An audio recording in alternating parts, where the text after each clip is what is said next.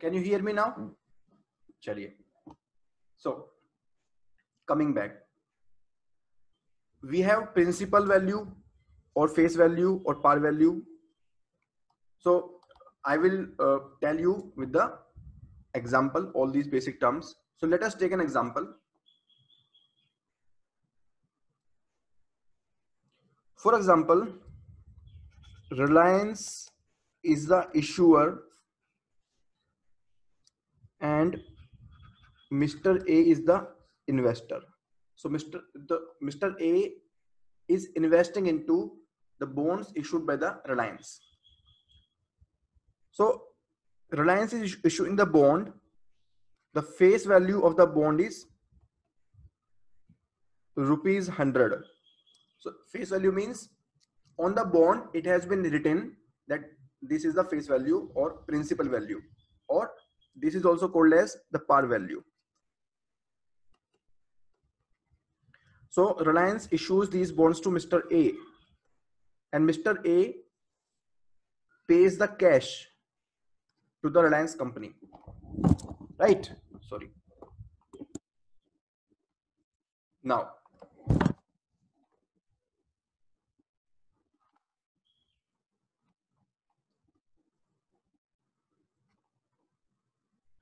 Reliance, it has taken the cash and suppose Reliance says that I will repay this amount after five years. So the Reliance will repay this amount for five years. That means the maturity period or the tenor, T-E-N-O-R, tenor means the duration, right? The duration of this loan is five years. And since Mr. A is investing the amount, so Reliance will promise, Reliance will promise something. Reliance will promise some interest income to Mr. A. Suppose the interest income is at the rate of 5%. So every year, 5 rupees will be paid by the Reliance company to Mr. A. Right? So this 5%, this is called coupon rate. इसको हम क्या बोलते हैं इसको हम coupon rate बोलते हैं। Coupon rate is nothing but the interest rate sir so you you you you can see invest this Reliance is the issuer mister A is the investor the face value is hundred rupees this is also called as the par value then we have coupon rate and then we have tenor now at the end of five years at the end of five years this reliance will return cash to mr a. ये जो cash है, ये return back होगा after five years right so this is called redemption this step of return back is called redemption इसको हम redemption बोलते हैं, ठीक है? So this cash will be paid suppose cash is hundred rupees only apart from that, every year we already discussed that every year the interest will be paid to mr a rupees 5 into 5 years. Right? So what will be the income income of mr a? The income of mr a will be the 5 rupees for 5 years that is 25 rupees. This is the income of mr a. Right? So this is the normal process. This is the normal process. Now let us see the basic terms. Coming back coupon rate coupon rate in our example is 5% this is the basic interest rate. Then coupon coupon is the interest payment that is rupees 5 every year right? So coupon rate multiplied by the face value. This is rupees 5 then we have due date or maturity period. That is the 5 years time. After 5 years this due date will come. Term. Term means the time till maturity. Okay so this this due date is the exact date on which the redemption will happen. And the term is basically the duration of this loan.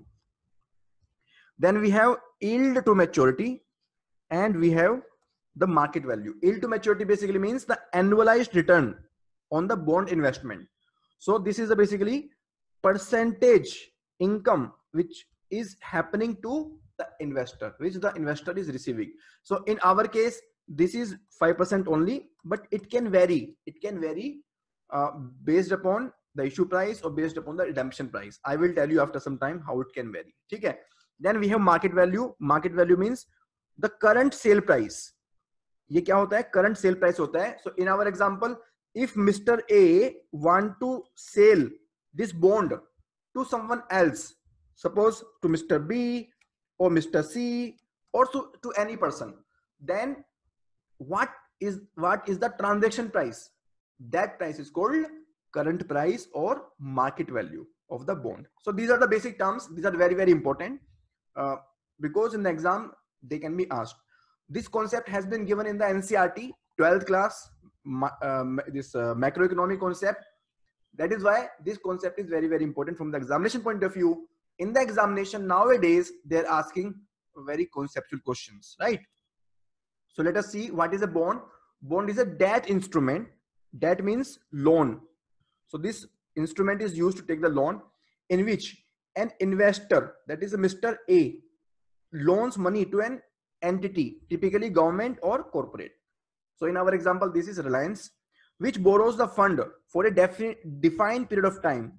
In our example, this is 5%, uh, 5 years at a variable or fixed interest rate. So interest rate, it can be variable or it can be fixed. In our example, this is 5%. It is basically a tradable. Tradable means it can be purchased and sold during the tenor. So during the five years time, if Mr. A is willing to sell this bond, he can sell to any other person.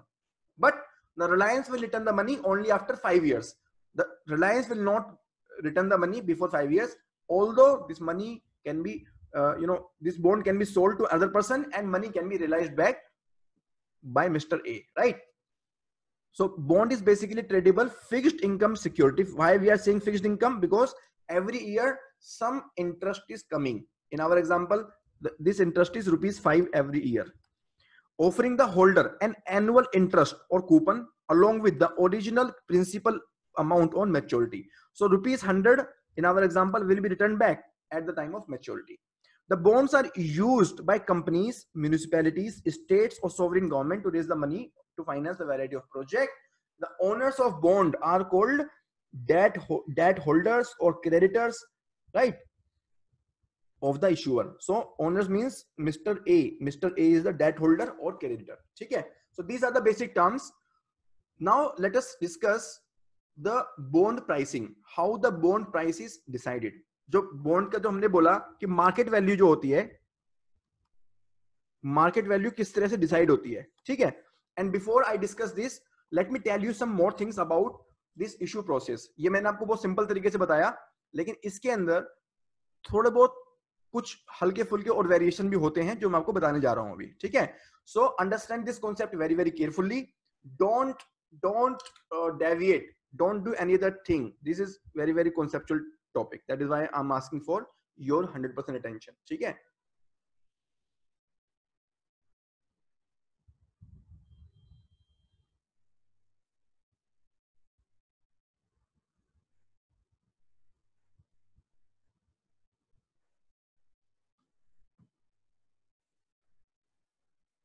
चलिए। सो in this example, we assumed that Mr. A paid 100 rupees to Reliance ये हमारी basic assumption थी but practically this 100 rupees can vary that means face value is 100 rupees face value to 100 rupees here but Reliance can either sell it as more than 100 that is 110 rupees or at less than 100 that is 90 rupees so based upon based upon how much is the uh, goodwill of reliance or how much the investors are willing to pay. This amount can be changed. So reliance can ask for 110 rupees instead of 100 rupees or 90 rupees instead of 100 rupees. So if if the issue price is 110 then this is called issue at premium. And if issue price is less than face value then this is called issue at discount. Right? Is it clear? Now similarly at the time of redemption also. We assumed in our example that redemption value is 100 rupees. But practically it can vary. It can be different. That means the redemption value can be 105 rupees or it can be 95 rupees. If this is 105 rupees this is called redemption at premium. Or if this is 95 rupees then it is called redemption at discount right so redemption can be at premium or redemption can be at discount now आपके लिए क्या समझने की ज़रूरत है the civil service exam, exam you have to understand the relationship between the bond price and the market interest rate आपके लिए ये इंपॉर्टेंट है ठीक है तो मार्केट प्राइस कैसे कैलकुलेट होता है? That thing I told you but like more than that what is important is to understand the relationship between the bond price और bond market value bond price या bond market value and the market rate of interest इनके बीच में किस तरह की relationship होती है? ठीक है? Now I am asking question from you sir so just give the answer मैं आपसे एक सवाल पूछने जा रहा हूँ। If suppose the bonds are being sold at rupees 100 in the market and the income is 5% ठीक है? जो इनकम है बॉन्ड पर वो 5% है। But this is about the bond but other instrument other than the bond so for example suppose bank deposit और mutual fund और share market ठीक है? जो भी इन्वेस्टमेंट के वेन्यूज हैं they are offering seven percent income every year I am repeating my question from you my question is the bond is selling at hundred rupees today and it is offering five percent rate of interest but suddenly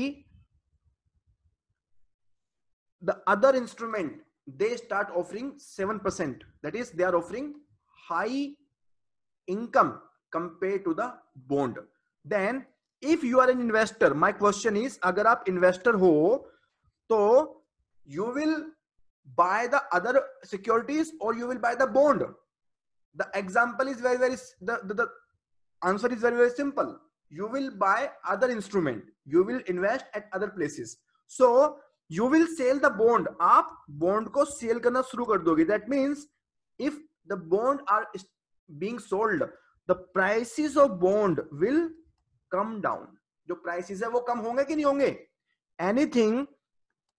anything which is sold by everyone the price is automatically come down ठीक है and vice versa suppose the other other other instrument are offering 4% instead of 5% then everyone is, will start buying the bond har koi bond ko buy karna shuru kar dega if everyone start buying the bond then the market prices will increase or decrease the market prices will increase right so can you see can you see the relationship between the bond price and the market interest rate is inverse relationship ठीक है तो अगर market interest rate this 7% or 4% अगर if market interest rate is increasing then bond prices are falling if market interest rate is decreasing then bond prices are increasing. So there is an inverse relationship.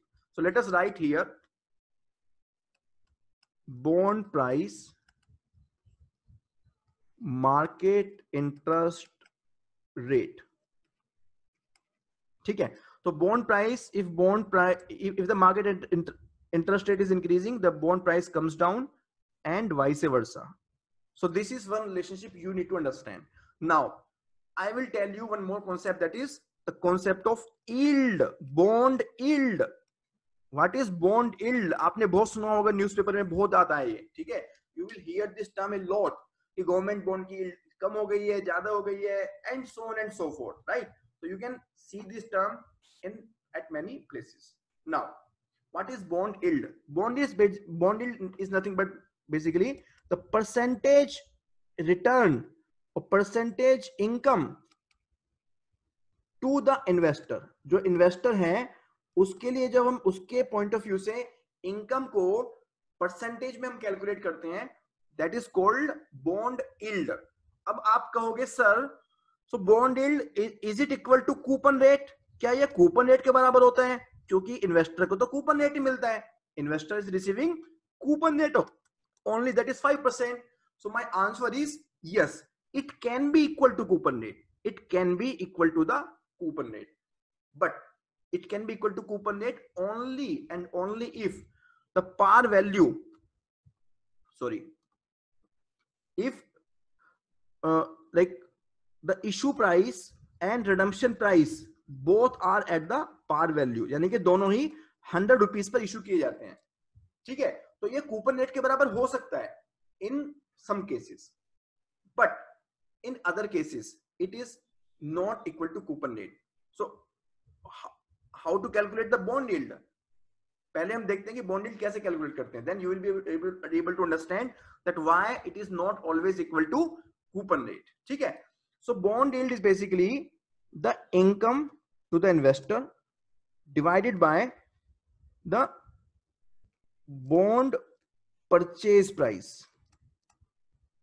simple, ठीक है? तो हमने हमने जो definition बताई थी आपको बॉन्ड इल्ड की बॉन्ड इल्ड की जो डेफिनेशन है, हमने बताई थी आपको कि इट इज़ परसेंटेज रिटर्न और percentage income which is earned by investor ठीक है? Now calculation is done as the income of the investor divided by the bond purchase price so if the bond purchase price is at par value and the income basically means the coupon rate that is the five rupees. Then this yield will be five percent. ठीक है तो coupon rate five के बराबर ही हो जाएगी ये, अगर बॉन्ड परचेज प्राइस हमारा पार वैल्यू के बराबर है लेकिन अगर बॉन्ड परचेज प्राइस हमारा चेंज होता है can you see if the bond purchase price changes if the bond purchase price changes that is if it is ninety five rupees और it is hundred and five rupees then this income will not change income तो change होने वाले नहीं है because income is the fixed coupon rate तो fix होता है so the yield will change yield आपकी change हो जाएगी so it will be 5 upon 95 or it will be 5 upon 105 if the issue is at discount then it will be 5 upon 95 if it issue at is premium then it will be 5 upon 105 ठीक है so it will not be equal to 5% it will be different from the 5% if the bond purchase price is not equal to par value. ठीक है? अब उस case में हमारा ये होगा। ठीक है? So bond now uh, I will ask you a question. अगर मैं आपसे एक सवाल पूछना चाहता हूँ कि tell me what is the relationship between the interest rate the market interest rate and the bond yield ठीक है? तो इन उनके बीच में रिलेशनशिप कैसी है? So just understand just understand करो कि अगर मार्केट इंटरेस्ट रेट बढ़ता है, हम लोग पहले से डिस्कस कर चुके हैं कि अगर मार्केट इंटरेस्ट रेट बढ़ता है तो बॉन्ड प्राइस हमारे कम होते हैं, ठीक है? बॉन्ड प्राइस हमारा कम होता है। Suppose originally the bond price was hundred rupees market market interest rate increasing so bond price will come down that is it will become ninety five rupees if bond price comes down so in our example if bond price comes down that is it becomes ninety five rupees this income और interest income do not change ये interest income change नहीं होती। Then definitely our bond yield will increase bond yield जो है वो आपकी increase हो जाएगी। Sorry so I will make one more column bond yield so bond will yield increase and similarly if the market interest rate is decreasing अगर market interest rate कम होता है तो बॉन्ड प्राइस जो है वो आपका बढ़ जाएगा। अगर बॉन्ड प्राइस बढ़ जाएगा तो हमारा जो यील्ड है वो कम हो जाएगी। ठीक है? So bond price and bond yield are inversely related वो आपके इनवर्सली रिलेटेड है। And market interest rate and bond yield are directly related directly related. So this relationship you, you should understand. आपको सिर्फ़ ये रिलेशनशिप समझने की ज़रूरत है। बाकी सब कुछ समझ में आए तो अच्छी बात है, नहीं समझ में आए तो कोई प्रॉब्लम नहीं है जो लोग कॉमर्स बैकग्राउंड से बिलोंग करते हैं इकोनॉमिक बैकग्राउंड से बिलोंग करते हैं, उनके लिए बाकी चीज़ें समझना आसान होगा but rest of the people may find it little bit difficult, but you just understand this relationship which I am indicating in front of you. अगर आपको ये समझ में आ गया, then this discussion, entire discussion is worth, ठीक है अगर समझ में नहीं आया तो आप इसको, इस पार्टिकुलर स्लाइड को समझ लीजिए just understand this slide it is more than enough आपको और कुछ समझने की ज़रूरत नहीं है। Only this relationship is more than enough to understand from the exam exam point of view ठीक है? So you you have to just understand आपको सिर्फ़ यही समझना है।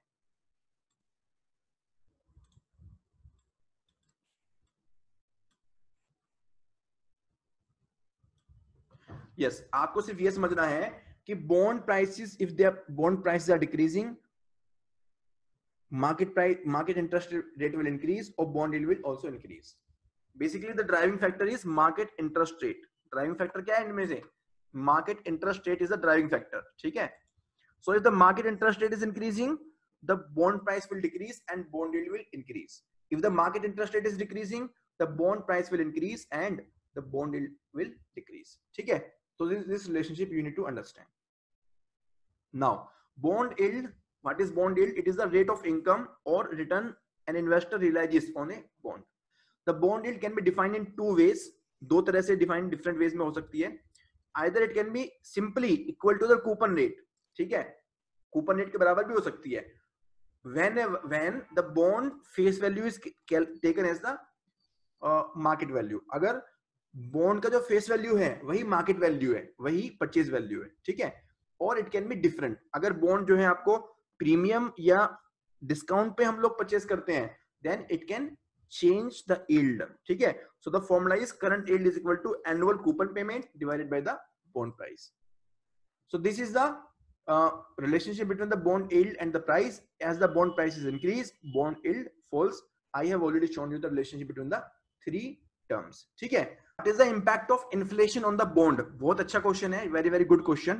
Because when we read the chapter of inflation, then we uh, discuss the impact of inflation on the bond so the same thing we, we can discuss here so basically in case of bond i told you there is annual coupon rate एक annual coupon rate होता है this annual coupon rate is nothing but the rate of interest in our example this is 5% is it clear ठीक है annual coupon rate that is the annual interest income if 5% This is fixed ये fix होता है।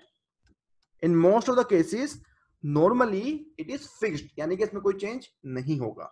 Now just understand ये suppose mister A is the investor mister A will receive rupees five only in any case कभी भी इसको five rupees ही मिलने वाले हैं। Now when we discuss the inflation what is inflation? Inflation is basically the general increase in the prices of goods and services जो goods and services हैं उनकी जो price है उसमें general increase को बोलते हैं inflation and this inflation reduces the purchasing power of money this is relevant here right this inflation reduces the purchasing power of the money i hope you know this concept I am assuming that you know the basics of the inflation. I, I will not discuss this much in detail because then it will become the chapter of inflation. Okay? चलिए so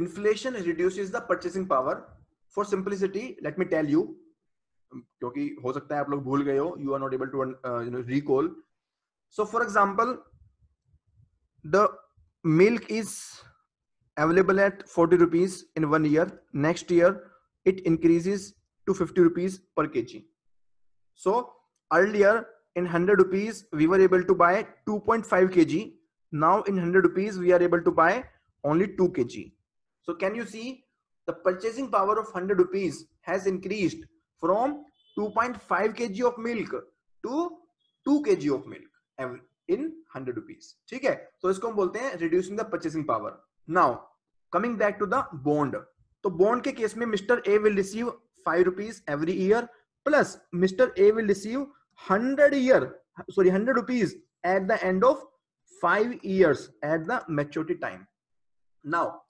suppose mister A invested this money in the year 2015 2015 में ये पैसा invest किया था।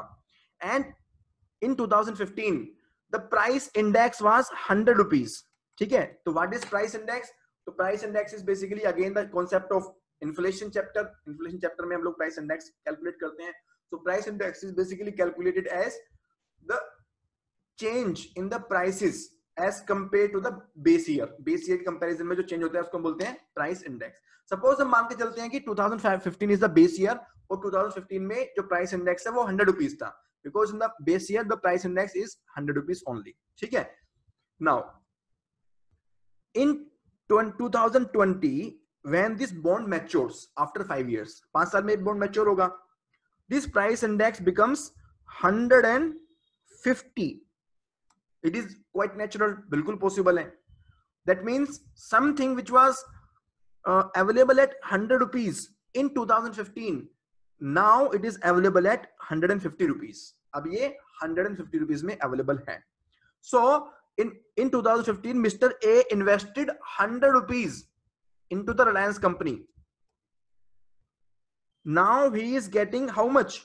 He is getting 105 in 2020 so can you see that now the same thing which was available in 2015 at 100 rupees it is available at 150 now mr a cannot buy this item in 2020 because he is, is getting only 105 rupees are you getting see he has received some annual income also उसको कुछ annual income भी मिली है 5 rupees में मिली है हम उसको भी जोड़ लेते हैं annually he must have received in 4 years 20 rupees so 125 rupees maybe wo, he cannot buy this worth 150 rupees item can you see so this uh, inflation actually reduces inflation reduces the purchasing power of money and it adversely affects the bond holders because bond holders are receiving the fixed amount of money and the purchasing power of that money is reducing did you got this did you get this concept क्या आपको समझ में आया ये so this is the this is how the inflation impacts the bond holders so in one line आपको सिर्फ एक line में समझना है कि inflation is adversely impacting the bond holders because it reduces the purchasing power of money ठीक है आपको सिर्फ़ इतना ही समझना है this is the impact of inflation on the bond to eliminate this impact इस impact को eliminate करने के लिए sometimes inflation indexed bonds भी इशू किए जाते हैं inflation indexed bonds are issued, ठीक है? So those in that case, what happens कि जो रीपेमेंट होगी इंटरेस्ट की, और जो रीपेमेंट होगी प्रिंसिपल की in both the cases the amount will be increase with the percentage of inflation जितना इन्फ्लेशन हुआ है, उतना ही आपका इंटरेस्ट बढ़ा दिया जाएगा, और उतना ही आपका कैपिटल बढ़ा दिया जाएगा। So that is called inflation indexed bonds. In india, these inflation index bonds are issued but some government agencies तो ठीक है तो ये कॉन्सेप्ट भी अवेलेबल होता है। ठीक है? इज़ इट क्लियर अखिलेश चलिए। Now please solve the question please read this question carefully now we are moving to the next concept that is the masala bond and in the upcoming question you will get reference of various terms which we discuss so far please take some time understand read this question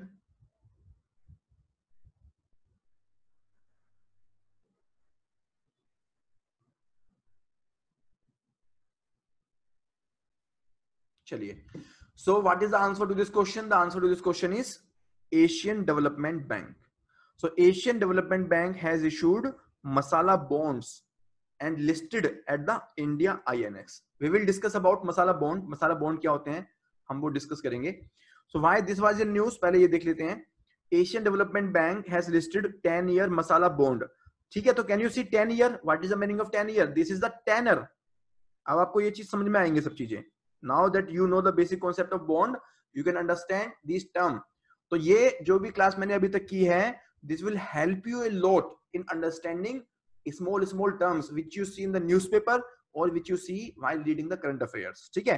तो ten year means the tenor it is a duration of the masala bond worth 850 cr on the global debt listing platform of india inx india inx what is india inx this is basically country's first international exchange right exchange means it a place where these instruments are purchased and sold where they are exchanged इसलिए हम उसको बोलते हैं exchange ठीक है it is located in Gujarat gift city they are listed at both Luxembourg exchange and India INX. Now, what is masala bond? Masala bond kya hota hai? So, suppose there is a company, uh, Tata. Tata company hai. This company want to raise the money from abroad. ये abroad से पैसा issue करना पैसा raise करना चाहती है suppose they want to raise the money from USA right normally if we ignore this masala bond normally they will receive this fund in the us dollar us dollar में वो receive करेंगे ठीक है suppose they receive thousand us dollar so they have to repay the interest every year that is a coupon payment and they have to pay the redemption value at the end of the duration suppose 10 year की duration है तो 10 साल बाद उनको redemption value देनी होगी and this repayment again is done in the US dollar ये भी यूएस डॉलर में होती है। This is done in the local currency of the country where these are issued यहाँ पर ये इशू किए जाते हैं। ठीक है? ये आपको समझ में आ गया? This is the normal process now in this normal process there is a risk problem क्या है? रिस्क क्या है? So risk is basically the risk of change in the foreign exchange rate foreign exchange rate में change होने का डर होता है। Suppose they have receive this thousand rupees this thousand dollars loan at suppose seventy rupees seventy rupees seventy rupees का foreign exchange rate था so they received seventy thousand ठीक है?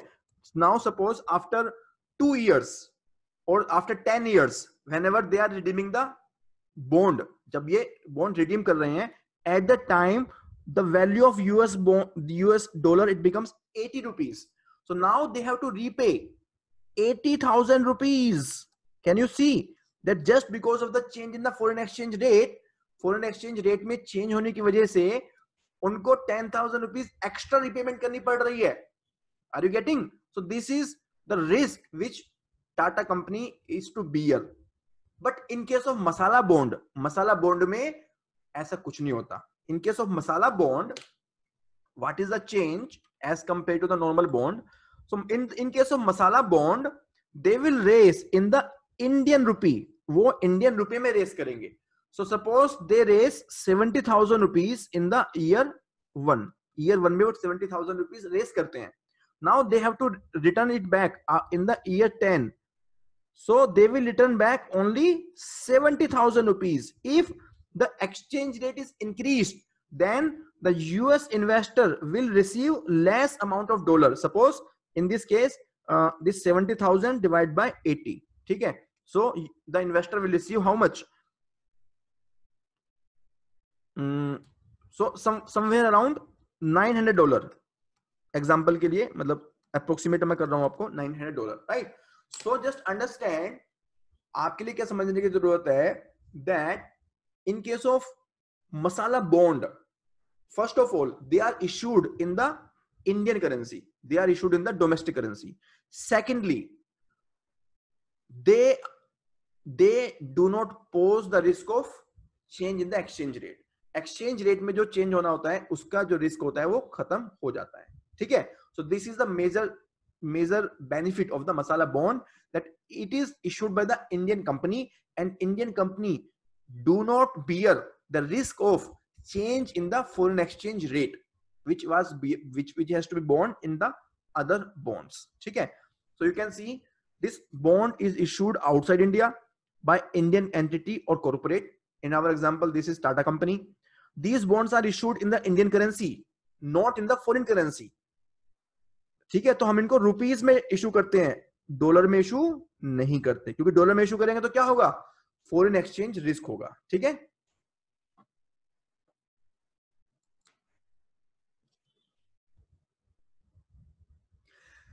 Indian corporate usually issue masala bond to raise fund from the foreign investor as it is pegged to Indian currency क्योंकि ये Indian currency में issue किया जाता है। If the rupee rate falls investors bear the risk ठीक है? तो who will bear the risk investor not the issuer issuer bore issuer bear नहीं करता इन्वेस्टर बियर करता है। Now some facts first masala bond in 2014 by IFC for the infrastructure projects. And uh, other companies are also issuing like HDFC, NTPC, India Bulls Housing etc. So this is the meaning of masala bond. ये masala bond का मतलब है ठीक है So very recently Asian Development Bank has also, also issued the masala bond. The answer is option B. Now the next question on your screen sovereign gold bond scheme. ठीक है So please take 30 seconds and give the answer in the chat box. You can give the answer in the chat box. Today we will not be able to play this poll.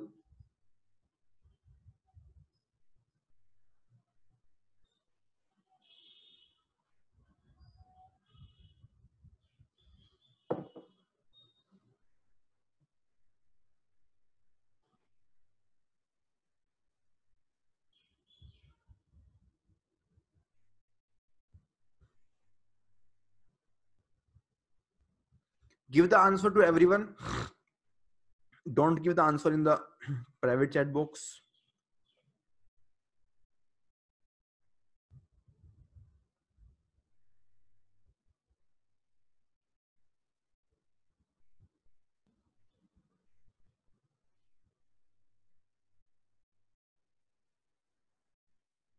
Okay good. I can see most of you are giving the correct answer.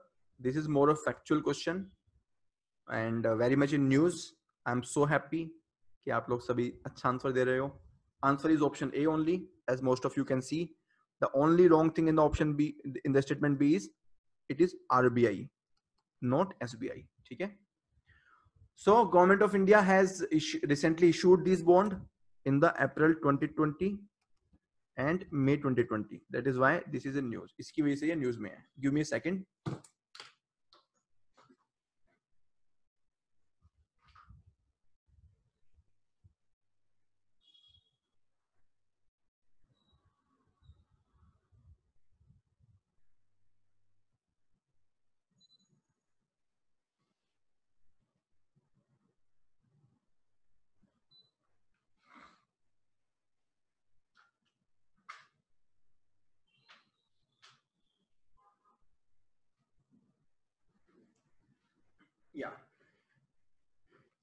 that is why these are in news and uh, they were issued uh, basically originally in 2015 2015 में originally issue हुए थे to reduce India's over dependence on the gold import. So gold import form a major a, the, a very major large chunk. ठीक है? The second highest import after the oil and the crude items हमारा होता है gold imports. ठीक है? So in the gold import, uh, because of the gold import, there is high uh, trade deficit, there is high current account deficit, and which actually adversely impacts the foreign exchange rate. So we have to reduce the gold import. That is why the investors are given the opportunity to invest into the gold uh, sovereign gold bond. Okay, they are given the opportunity to invest in the sovereign gold bond so that they do not buy the physical gold उनको physical gold buy करने की ज़रूरत ना पड़े ठीक है? So this gold is use for two purposes एक तो हमारी ज्वेलरी के लिए यूज़ किया जाता है। Secondly it is use as a major source of investment इसको मेजर सोर्स ऑफ़ इन्वेस्टमेंट की तरह यूज़ किया जाता है ठीक है? So through this sovereign gold bond scheme the government want to ensure that people do not uh, invest into the physical gold. They invest into the sovereign gold bond ठीक है? What is this bond can you see uh, this is a government security security है और ये ग्राम of gold में denominate होती है of gold and uh, the investors have to pay the issue price in cash issue price उनको cash में देना होता है uh, और मैच्योरिटी के टाइम पे भी उनको कैश ही मिलता है ठीक है तो डेनोमिनेट वो गोल्ड में होते हैं लेकिन जो ट्रांजेक्शन दोनों होते हैं वो कैश में होते हैं quantity of gold is protected that means if the investor is investing, suppose 5 gram, then the investor will receive the market value of this five gram at the time of redemption ठीक है? Redemption या premature redemption दोनों ही time पे उसको five gram का जो market price है, वो मिल जाएगा। So this is the redemption value so redemption value is equal to the market price of the gold so from the point of view of investor from the point of view of investor this basically gives the income equal to the physical gold physical gold के बराबर income मिल जाती है उसको ठीक है? This bond is issued by the Reserve Bank of India on behalf of the government तो government के पास इसका पैसा जा, पैसा जाता है। Who receives the money it is the government who receives the money from this bond ठीक है? तो गवर्नमेंट के पास कहाँ पे जाएगा? आपने पब्लिक फाइनेंस का चैप्टर सुना होगा। पब्लिक फाइनेंस के अंदर बजट होता है। बजट के अंदर आपका रेवेन्यू रिसीट और कैपिटल रिसीट होती है, ठीक है? तो ये कहाँ पे जाएगा? कैपिटल रिसीट में जाएगा। It will become part of the borrowing it will be it will become part of the physical deficit can you see ठीक है? तो ये बेसिकली गवर्नमेंट बोरो कर रही है। ये गवर्नमेंट बोरो कर रही है और ये फ़िज़िकल डेफिसिट को बेसिकली फंड करने के लिए फ़िज़िकल डेफिसिट को फंड करने के लिए बोरो कर रही है। ठीक है? Who is eligible to invest in the S SGB the person who is resident in India as per the definition given in the FEMA 1999 ठीक है? तो जो रेजिडेंट है, सिर्फ़ वो इन्वेस्ट कर सकते हैं, बाकी लोग इन्वेस्ट नहीं कर सकते। नॉन रेजिडेंट इन्वेस्ट नहीं कर सकते, ठीक है?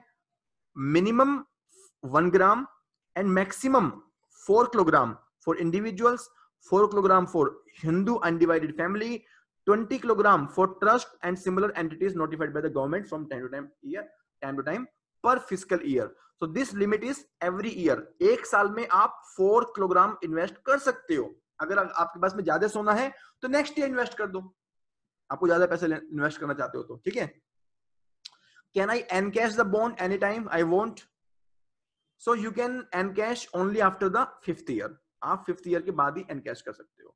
The maximum tenor is eight years eight years आपका मैक्सिमम टेनर है। But lock in period lock in period is basically five years पाँच साल के बाद ही आप लोग इसको रिडीम कर सकते हो। हाँ अगर आपको पहले पैसा चाहिए if you need the money in advance if you need the money early then you can trade you can sell these bonds into the open market आप ओपन मार्केट में इसको सेल कर सकते हो, ठीक है? You can sell it to the other person before the five years also आप इसको कभी भी सेल कर सकते हो but if you want to take the money back from the government अगर आप गवर्नमेंट से पैसा लेना चाहते हो in that case you can take the money from government only after the end of five in ठीक है? What are the tax implication so tax implication is in on the interest they will be tax under the income tax act जो भी interest receive होगा how much is the interest interest is two point five percent per annum two point five percent per annum होता है। Which is paid semi annually that is after every six months. After every six months, you will receive this interest in your bank account. ठीक है? तो 2.5 percent interest होता है। आप बोलोगे, sir, ये तो इंटरेस्ट रेट बहुत कम है। Why so less why the people will invest so the people will invest because the redemption value is market value of gold और मार्केट वैल्यू ऑफ़ गोल्ड तो बढ़ती ही है। अब देखो गोल्ड कितना बढ़ रहा है। ठीक है?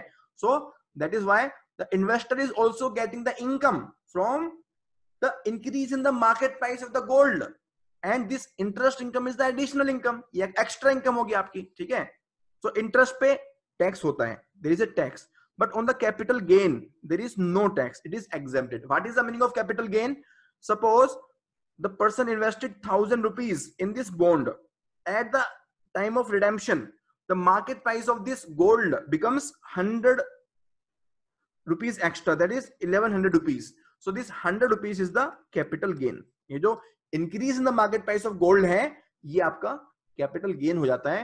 And this is not taxable ये टैक्सेबल नहीं है। ठीक है? So you can you can take few seconds and just observe this slide for revision आपका रिविजन हो जाएगा इससे। ठीक है?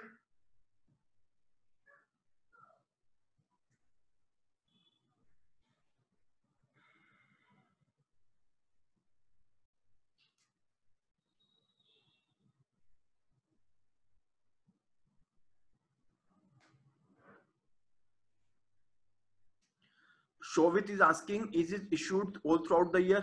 No, it is not issued all throughout the year. It is issued uh, as per the specified time limits ठीक है? तो after long time the government has issued this तो जब भी पैसे को पैसे की ज़रूरत होती है गवर्नमेंट को whenever the government needs the money to fund its physical deficit then this bond can be issued उस समय पे ये बॉन्ड इशू किया जा सकता है। ठीक है?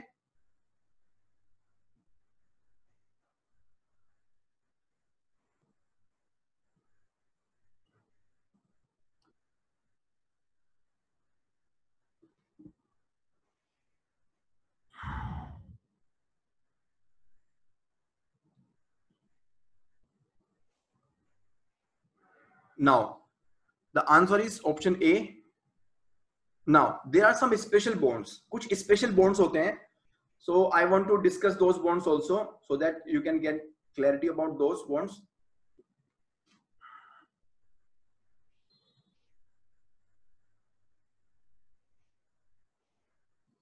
चलिए so let us discuss what is uh, like exactly हम इसको क्या बोलते हैं स्पेशल बॉन्ड्स को give me a second i have to do some setting yeah so what is what are these special bonds special bonds kya hote hain ye you would have heard about the oil bonds आपने oil bonds के बारे में सुना होगा ठीक है या आपने सुना होगा recapitalization bonds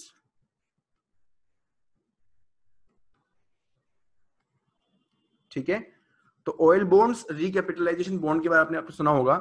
So let me discuss how these bonds are issued what is the mechanism of these bonds in bonds की मैकेनिज्म क्या है मैं आपको वो बताने वाला हूँ ठीक है?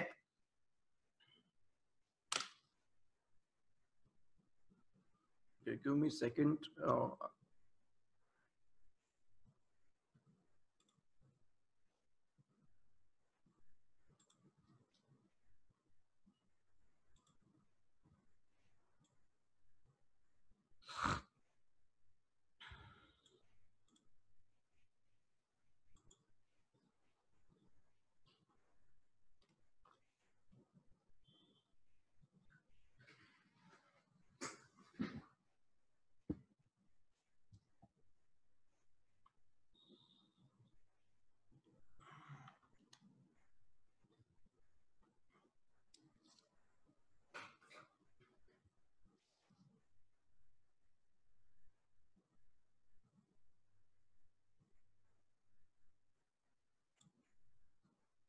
चलिए so these bonds are issued on behalf of the government of India suppose the government of India has to reimburse any oil company suppose indian oil corporation is there indian oil corporation is basically eligible to get some fuel subsidy कुछ fuel subsidy Indian Oil Corporation को मिलनी है from the side of government of India because Indian Oil Corporation has actually sold the petroleum products at low price because the government promised some subsidy to the Indian Oil Corporation. So government of India want to pay the fuel subsidy to IOC. So if if government of India pays this subsidy in cash, अगर ये cash में subsidy दे जाती है then what will be the implication then this will become the revenue expenditure of the government revenue expenditure बनेगा। That means it will increase the fiscal deficit of the government ये physical deficit increase करेगा। Right so in in some cases in some years the government do not want to increase the fiscal deficit the government is not in a position to increase the fiscal deficit government की ऐसी स्थिति में नहीं है कि वो fiscal deficit को increase कर सके in those cases the government uses these special bonds ठीक है so one example is uh, this fuel subsidy another example is that the government of india has to invest into the public sector banks as the capital उनको capital में invest करना है ठीक है तो दोनों ही केस में ये एग्जांपल फिट हो सकता है So what government of India will do? Government of India will say to the IOC or to the public, public sector banks that you can issue the bond. And you can receive the cash from the public आप public को bond issue करो और cash ले लो ठीक है you can take you can issue the bond and you can take the cash from the public ठीक है but I will repay this amount in the future मैं ये जो कैश है, ये फ्यूचर में इन्वेस्टर्स को रीपे कर दूँगा। ठीक है? So these bond are issued by the oil company और bank on behalf of the government of India government of India will bear the ultimate liability of repayment including the interest payment interest payment भी government of India ही करेगी। ठीक है? So what is the benefit to government of India government of India को ये सब करने से फ़ायदा क्या हुआ? The benefit to the government of India is that in the current year, there is no cash disbursement from the side of government of India. Government of India is not supposed to pay any cash to the oil company or to the bank. So it saves the cash of government of India in the current year. And also this do not come in the fiscal deficit. ये fiscal deficit में भी नहीं आता. Can you see? This even does not come in the fiscal deficit. So even the fiscal deficit target can be managed. Fiscal deficit target can be managed through this kind of transaction. But in the future, when this amount is repaid and in that year, this will become part of the fiscal deficit because in that year, the government is supposed to pay the cash amount. उस साल में ये जो है cash amount government को pay करना पड़ेगा ठीक है So because this is the liability of government which is to be repaid in future ये liability है but this is not being reflected in the budget ये budget में reflect नहीं हो रही है that is why this is also called as the off budget liability तो off budget liability का आपने नाम सुना होगा और off budget obligations आपने नाम सुना होगा so one of the component of off budget obligations are these special bonds ठीक है so in the chapter of public finance you will get to see this term off budget obligations off budget obligations आपको वहां पर देखने को मिलेगा so at that time you can understand that one of the component of off budget obligations is these special bonds ठीक है so this is the mechanism of special bonds Now the next concept national investment and infrastructure bonds please read this question carefully and give the answer in the uh, chat box. Right answer is option A only.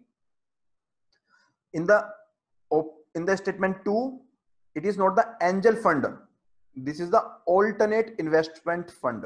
ठीक है ये एक alternate investment fund है it is not the angel fund so answer is option a let us discuss why this is in news because canada's largest pension fund that is Canada Pension Plan Investment Board has agreed to invest $600 million in the NIIF through the NIIF Master Fund. So what is NIIF Master Fund? This is one of the component of the NIIF. NIIF has various component. This NIIF Master Fund is one of the component. Okay.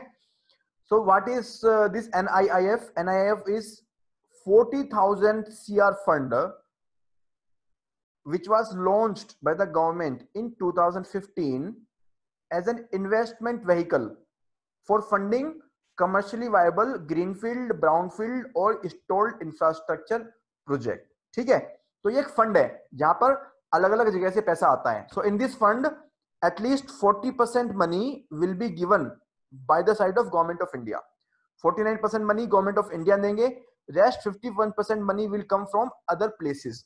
It can come from sovereign wealth fund insurance companies pension funds endowment funds etc right?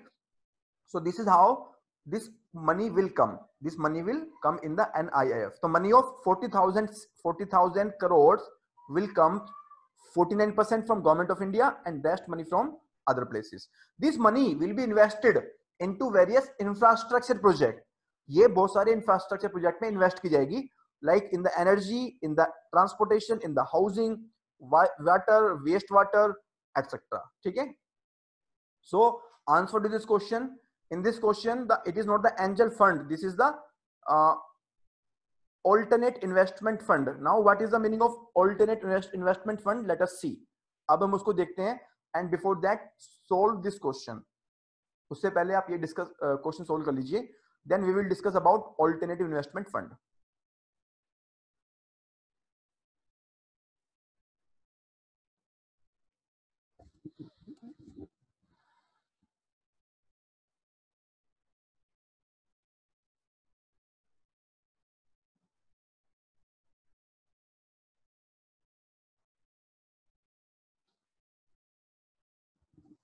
So what is the answer? Please give in the chat box.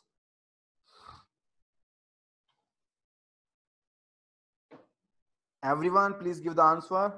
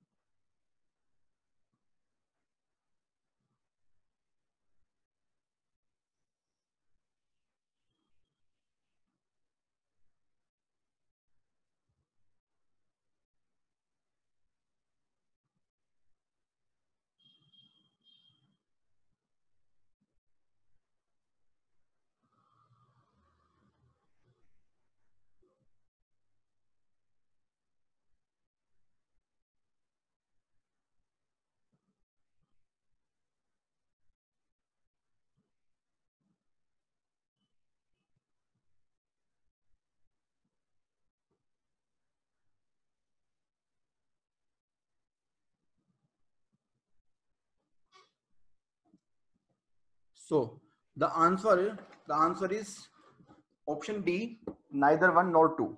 Okay. Answer is option D. It is not an organ of Niti Aayog.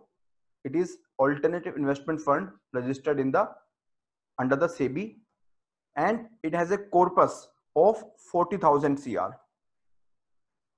So the answer is neither A, neither one nor two. What is the meaning of alternative investment fund? Alternative investment fund का मतलब क्या होता है? So name itself suggests it is alternative to the traditional investment funds. Traditional investment fund किस तरह के होते हैं? through the stock, through the bond, through the fixed deposit. So normally जो पैसा receive होता है normally if anyone want to receive the fund then they can receive by issue of equity shares, by issue of bonds, by uh, fixed deposit or through investment into the real estate they are the traditional form of investment. But this alternative investment fund is not a traditional investment. It is the alternative to the traditional form of investment. okay now in different countries the definition is different. In india the defin the definition is given in the art in the regulation 2 of the sebi regulations 2012 okay and it includes venture capital fund, hedge fund private equity fund debt fund infrastructure fund तो ये अलग अलग तरह के fund यहाँ पर include होते हैं। It does not include mutual fund collective investment scheme family trust employee stock option scheme employee welfare trust gratuity trust etcetera तो ये सब चीज़ें इसमें इंक्लूड नहीं होती। All these are included in this case so private equity, debt fund, infrastructure fund, all these are included. Vanjakshi Ravi, I will discuss this hedge fund very soon. Chaliye. So you can see there are three categories of alternative investment fund.